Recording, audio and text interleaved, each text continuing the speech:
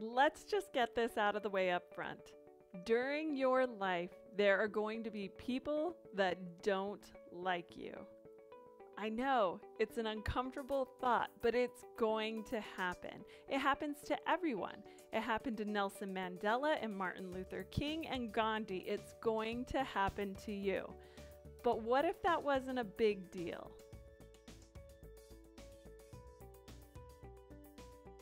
Now, I know some of you want to argue with me already and say, no, no, no, I'm really good at getting people to like me. I'm amazing. Why wouldn't they like me?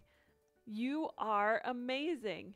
And sometimes people still won't like you. But what if it had nothing to do with you? Guess what? It doesn't. If somebody doesn't like you, it only has to do with what's going on for them in their head. Now, I know some of you don't believe me, so let's think about this in a less personal way. What is your favorite fruit?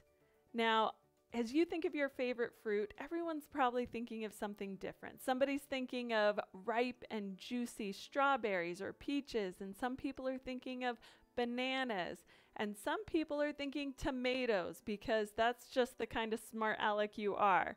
And I can totally respect that, so that's fine. I got you, tomato people. So think of your favorite fruit.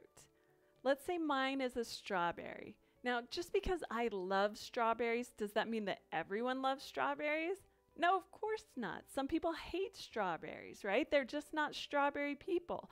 And of course, they have their reasons. Maybe the flavor reminds them of something that made them sick when they were younger, or they don't like the texture, or they think the seeds on the outside are really weird. Whatever their reasons, they just don't like strawberries, and that's okay.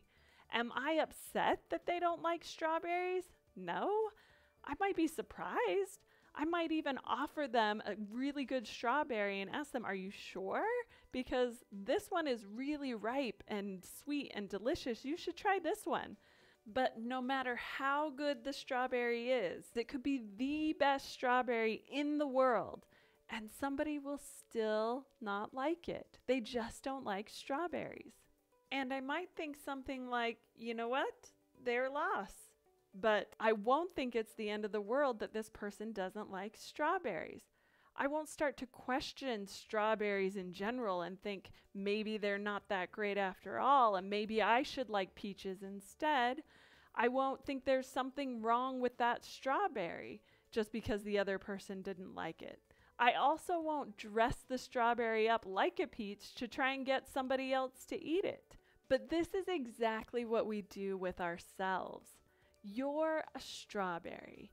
And not everyone likes strawberries, and that's okay. It's not the end of the world. It doesn't mean that you've done things wrong. It doesn't mean you have to change yourself and dress yourself up like a peach to make people like you.